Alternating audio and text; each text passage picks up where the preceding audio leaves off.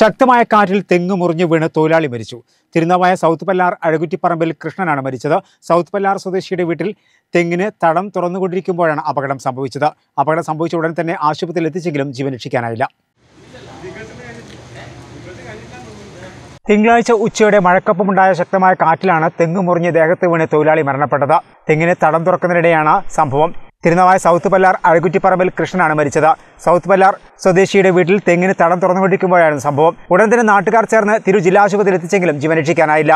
കാർത്തികേയനാണ് ഭാര്യ. ശ്രുതി ശ്രീഷ്മ അഭിജിത്ത് എന്നിവർ മക്കളാണ്.